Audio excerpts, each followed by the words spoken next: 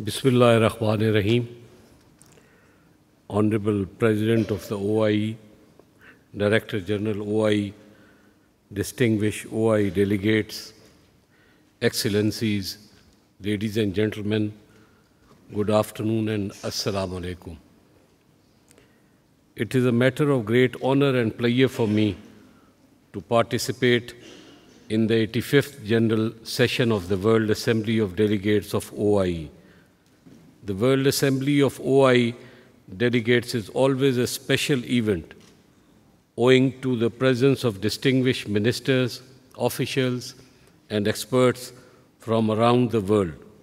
I feel privileged to be here in this August forum once again this year. Madam Director General, please allow me to express on behalf of the Government of Pakistan and on my own behalf our appreciation for excellent organization of this conference in the beautiful city of Paris. Excellencies and distinguished guests, the World Assembly of OIE Delegate establishes the policies of OIE, examines new intergovernmental standards covering animal and zoonotic disease control methods, safety of international trade in animal and animal products, as well as animal welfare.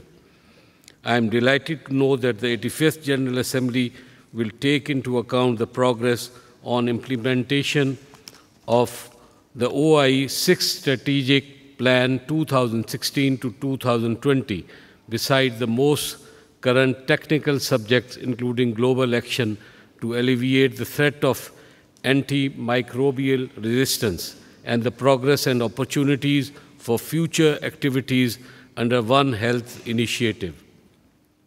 Such deliberations are highly important for public safety of the entire world in general and developing regions in particular.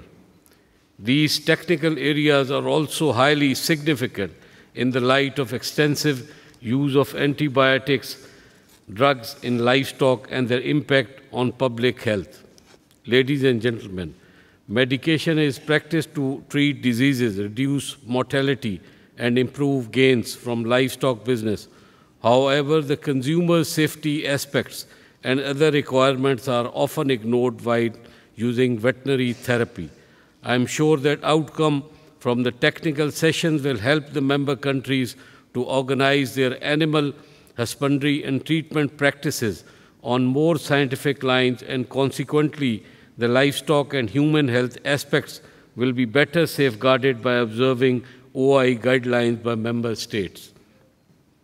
The mandate and role of OIE is very important for livestock and animal origin products in order to ensure food safety at the production, processing, and marketing levels, besides the codes regulating these activities.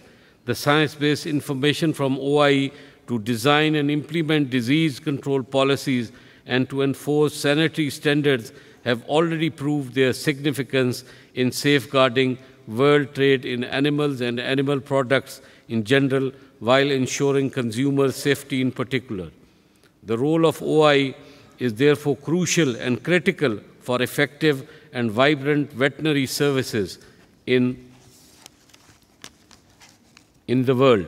The standards and guidelines developed by OIE have commendably assisted the national governments to organize their animal health and production practices on modern and scientific lines where safety of consumers remain the essence of whole activity. Dear delegates, livestock sector's prospective role towards rural economic development may well be recognized from the fact that significant number of population of almost all developing countries derive their livelihoods from livestock in one way or the other. It is a source of cash income providing a vital and often the only source of income for the rural and most marginalized people. It generates employment in the rural population, particularly small farmers and women. Moreover, it also provides instant source of basic dietary energy requirements to the rural masses by providing eggs, meat, milk, and butter. Thus, the role of livestock is very important in rural socio-economic development food security and poverty alleviation, particularly in developing countries. Ladies and gentlemen, Pakistan national herd of livestock is comprised of an estimated population of 184 million large and small ruminants, apart from 86 million rural and 964 million commercial poultry.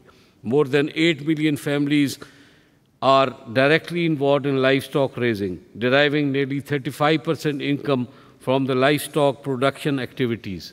The enormity of large livestock resource base makes Pakistan amongst the first 10 nations in the world in respect of livestock, commodities and species.